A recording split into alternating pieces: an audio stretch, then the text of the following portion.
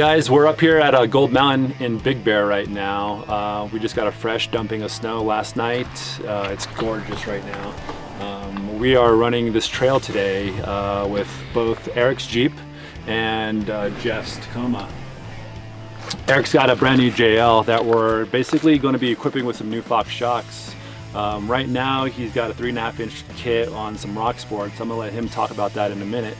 But what we like to do is we like to run some trails um, and then halfway through, middle of the day, we like to change out some equipment to really see if there's any kind of like noticeable difference and if this equipment that we're all spending hundreds of dollars on is really, you know, making a difference in like the ride quality, perceived ride quality, help with the vehicle, all kinds of stuff. So yeah, tell us about why, uh, what, how you ended up with the metal cloak lift kit, the wheels, the tires, you know, take us, take us a little bit yeah, around so, the vehicle. Uh, I got the JL and I kind of started following a bunch of uh, you know Instagram and YouTube pages.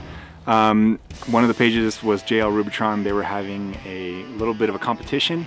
Uh, I entered and I actually won the Rocksport shocks independent of the lift.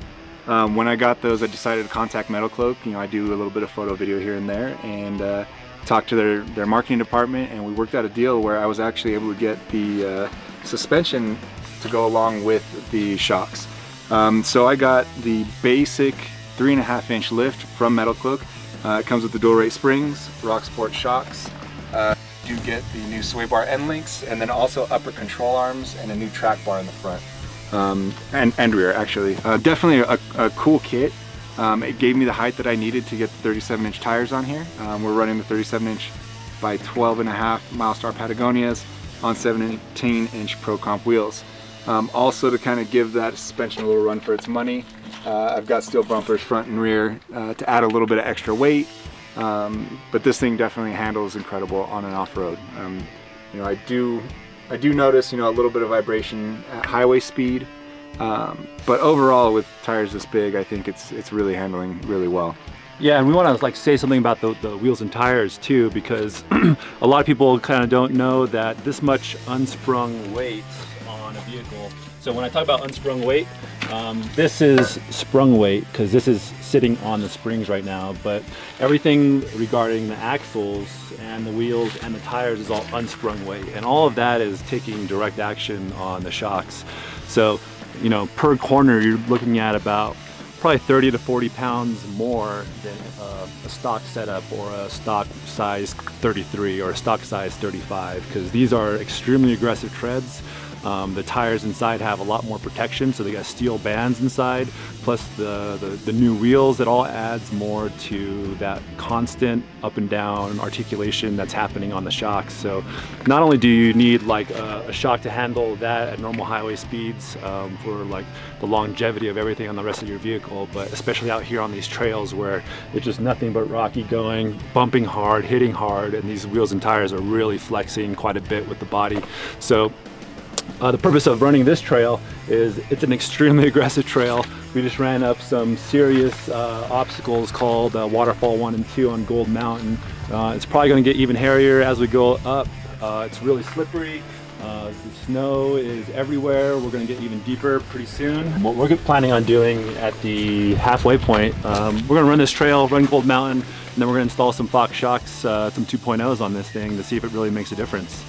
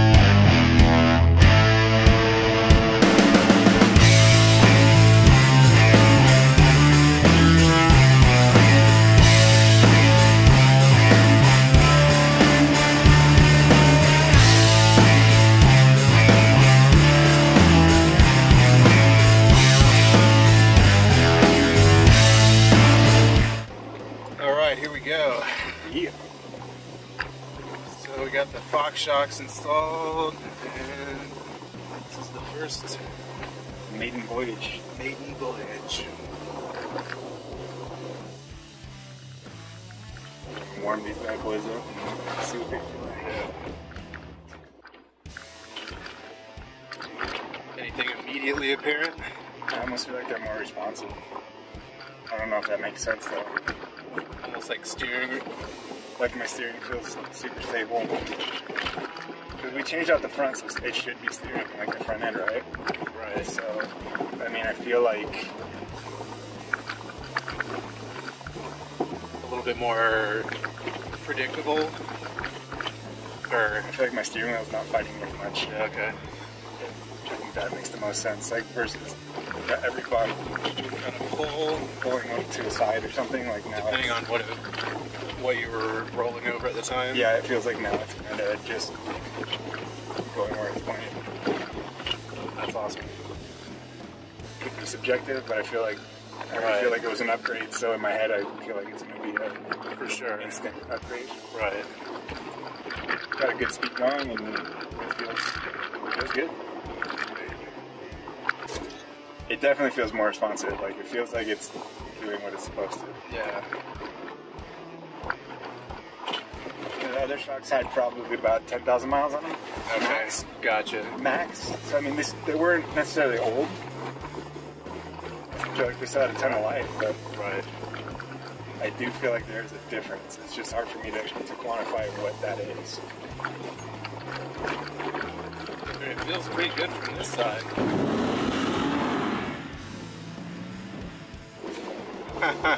There we go. Getting squirrely. Little tail wagging. I'm still in two-wheel drive too. Oh, I haven't switched over because it's more fun. Yeah. um, that's what's crazy sometimes is when it wasn't bad before, And then you get the better. but it's better, and you're like, ooh. You know, I agree with that because it wasn't bad before. Like I knew that those were like the the Rocksports are like they're the entry level uh, of the metal cloak, Gotcha. which isn't bad. You know, it's not like they're bad shocks, they, and they're specifically made for metal cloak suspension. For sure. Right. But it is interesting to feel something else after only driven, driving this um, with those for the last you 10,000 miles Right. actually feel an immediate change, an immediate difference. Yeah.